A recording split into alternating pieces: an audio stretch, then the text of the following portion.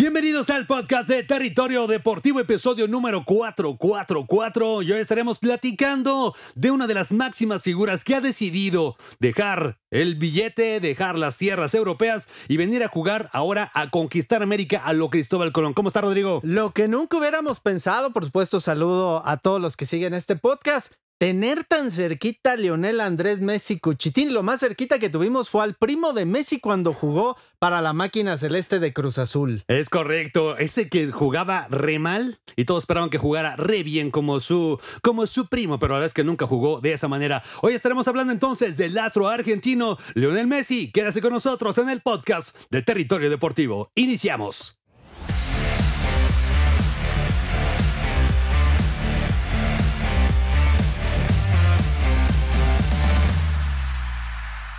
Territorio Deportivo. Pues bienvenidos a este show cómico, mágico, deportivo, que es el episodio número 4 de Territorio Deportivo, en donde hablamos de deportes, de figuras, de estrellas del deporte mundial. Y hoy estaremos hablando específicamente de la llegada de Lionel Messi al nuevo continente. La verdad es que es la noticia que sacudió al mundo entero del Sí. fútbol. Ya se hablaba de que Messi no la estaba pasando bien en, eh, con el Paris Saint Germain. Se habló mucho de su llegada al equipo parisino y a final de cuentas, pues sí, se va campeón de- del equipo del Paris Saint Germain, pero se va con esa deuda de no poder llevar ese cuadro a conseguir la Champions League correcto. después de una gran inversión que hicieron.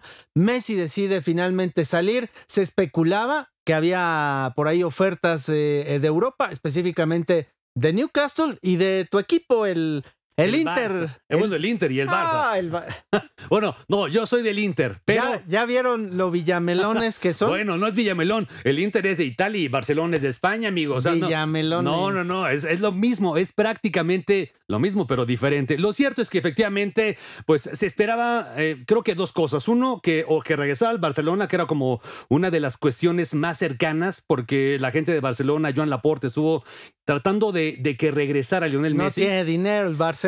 No hay dinero, pero es que ¿sabes por qué no tiene dinero? Porque justo a raíz de la salida de Lionel Messi, el equipo perdió sus ingresos en un 11%. O sea, los, las- los ingresos del Barça cayeron un 11%, el valor de marca, la gente no asistía tanto a los estadios, entonces todo ese, ese dinero dejó de ingresar, más obviamente la crisis que ya traía desde que precisamente se fue Lionel Messi para jugar al PSG porque no pudieron pagarle. Era una opción que regresara al Barcelona y la otra opción como más viable por lo que habíamos visto recientemente. Opción entre comillas, ¿no? Porque Bueno, sí. es- eso era más que nada por el lado romántico. Sí. Aquí, por ejemplo, nuestro productor Alex es fanático del Barcelona y nos dijo, es que yo eh, deseaba que se hubiera llegado, eh, regresado Messi al Barcelona. Lo cierto es que estaban muy lejanas las posibilidades económicas y honestamente, pues poniéndonos en los zapatos del astro argentino que lo ha ganado prácticamente todo, pues sinceramente él vio por, por empezar a edificar ya su retiro en la Liga de los Estados Unidos, ¿no? Sí, y que es, digamos, una opción que sorprende porque después de lo que vimos con Cristiano Ronaldo, en donde se va a ganar 200 millones de dólares al año, una opción era que Lionel Messi se fuera también a jugar a, Arabia Saudita en una contraparte para inyectar esta liga en donde recién se acaba de ir también Karim Benzema. Entonces, eh, era una posibilidad de que Lionel Messi se fuera a esas ligas. Sin embargo, sorprendió a todo el mundo de fútbol, como tú le decías, no solamente a la gente del PSG, que ya se sabía, como bien lo mencionas, ya no estaba a gusto. Creo que nunca estuvo a gusto desde que llegó, nunca tuve protagonismo. Todavía cuando, cuando bueno, en la, en primera llegó, etapa, ¿no? Cu- cuando llegó, se veía. La primera temporada. Sí, se veía con, con, pues, con ganas de, de- de trascender con ese equipo que a final de cuentas sí lo hizo. Y- Porque pero fue super temporada también. ¿no? Pero sí, ya viene la, la Copa del Mundo, sale ganador y ahí como que sí fue la parte en donde ya bajó un poco más eh, el rendimiento, por así decirlo, de Sí. Messi con, e- con esa escuadra.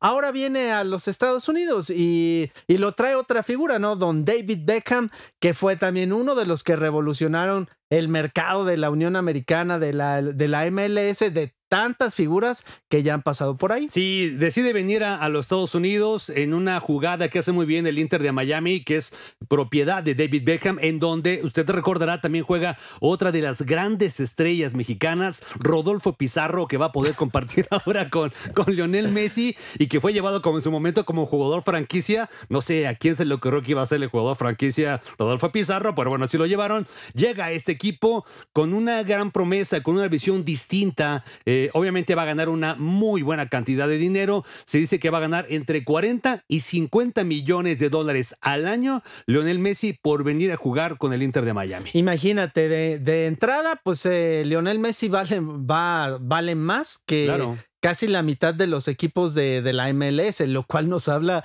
de lo que es este, este jugador, esta gran estrella. Y obviamente, pues ahí eh, eh, hay un, una manera como de redituar fondos para que sea ganancia para ambas partes, Sí. ¿no? Apple TV, Apple eh, TV. se hace de los servicios, pues prácticamente de, de lo que van a ser los derechos de transmisión, por así decirlo, de estos partidos. Y ahí, bueno, pues va a empezar a generar como muy al estilo de Michael Jordan, Es ¿no? correcto, es correcto. Cuando Michael Jordan se recordará, cuando hace el contrato con Nike, eh, dice, ok, sí te firmo, que Nike estaba realmente, era una marca que estaba en el cuarto lugar, creo que de ventas en Estados Unidos, decide firmar con ellos, pero a cambio tienen que darle un porcentaje de cada zapato de la marca o de la línea de Jordan. Algo similar va a pasar ahora con Lionel Messi, que va a recibir un porcentaje de cada nuevo suscriptor que tenga Apple TV, que es la encargada de tener los partidos en, en Estados Unidos. Va a ser una muy buena cantidad de billetes la que se va a llevar Lionel Messi, que como bien lo mencionas,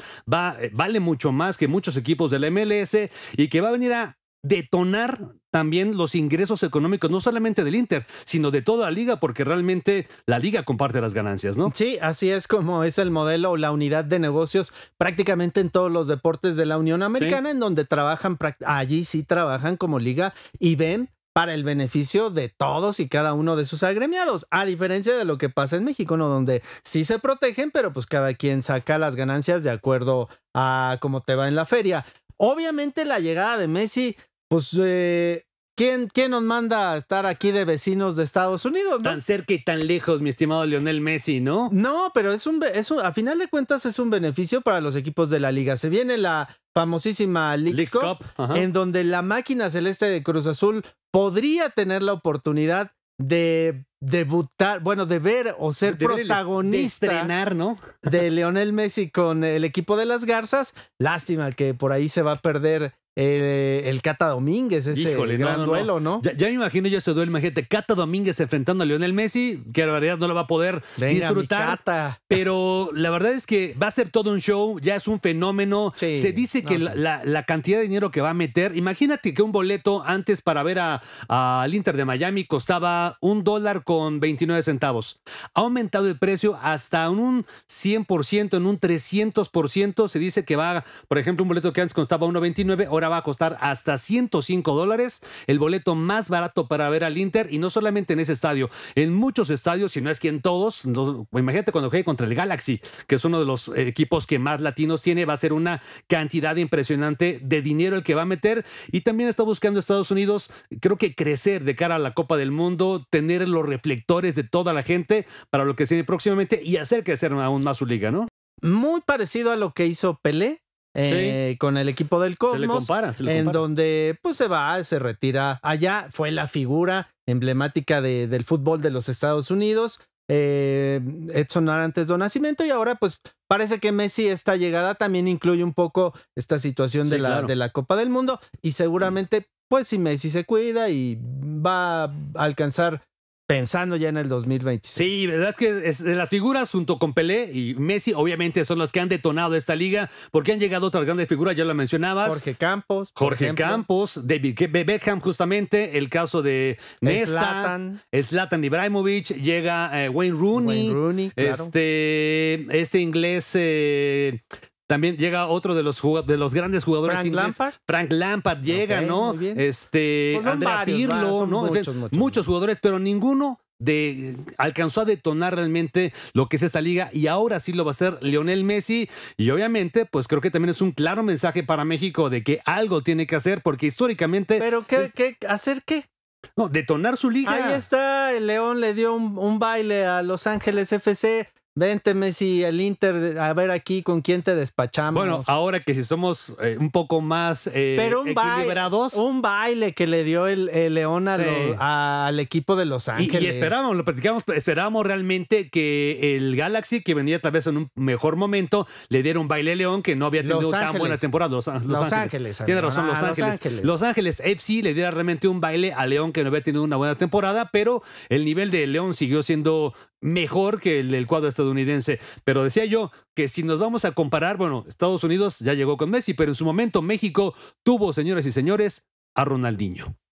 Ronaldinho, claro, ¿no? Digo, que no, se nos olvide. Y el Querétaro, no cualquier club, el Querétaro. Así es, figuras. También digo, lo que sea cada quien, fue un golpe mediático muy bueno. Posiblemente me van a decir, bueno, pero Ronaldinho se la pasaba pues, por ahí deambulando en ciertos lugares. Bueno, pero la imagen era Bueno, Ronaldinho. no creo que Messi tampoco mundo, ¿no? vaya, bueno, no sé. Hay distintos niveles de profesionalismo, pero bueno, lo cierto es que Messi llega entonces a jugar a la MLS para detonar su liga, para inflar de billetes a David Beckham y para quedarse con una buena lana de toda esa liga, porque los ingresos, decíamos, no solamente son de la, del equipo del Inter de Miami, sino de toda la MLS. Así que ¿Qué esperaremos? Les preguntamos a ustedes, ¿qué esperamos de Lionel Messi en la MLS? ¿Realmente vendrá a rendir a su máximo nivel como lo hizo en su tiempo con el Barcelona? ¿cómo ¿O va a venir a solearse en las playas de Florida?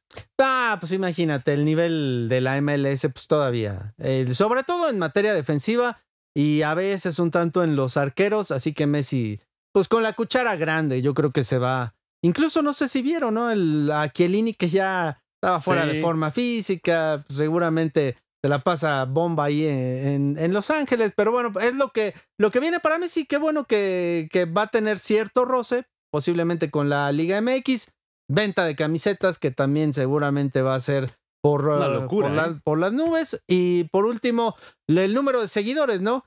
Que el Inter eh, de Miami, en cuanto se da el anuncio, bueno, pues Explotan. Claro, y eso es, es algo que va a pasar con el equipo y que va a pasar, decíamos, con toda la liga. ya tienes tu playera de Messi con No, el no, Inter? no. Tengo una del Barça, pero no, no tengo de, del bien. Inter de Miami. Ahora es mi nuevo equipo. Le voy a ir al Inter de Miami en la MLS. Al Miami. Al Miami, Muy al bien, Miami de los Mayas. Vámonos, vámonos. Gracias, Rodrigo. Nos estamos Chao, escuchando en el próximo. Y recuerden, ahí déjenos sus comentarios de qué otra cosa les gustaría que habláramos. Déjenos sus comentarios también. ¿Qué opinan de esta llegada de Lionel Messi? ¿Se esperaban la llegada del astro argentino a la Liga de Estados Unidos? ¿Y qué tanto le va a ayudar, de alguna manera u otra, a la Liga Mexicana? Vámonos, pásela bien. Chao. Hasta la próxima. Territorio Deportivo.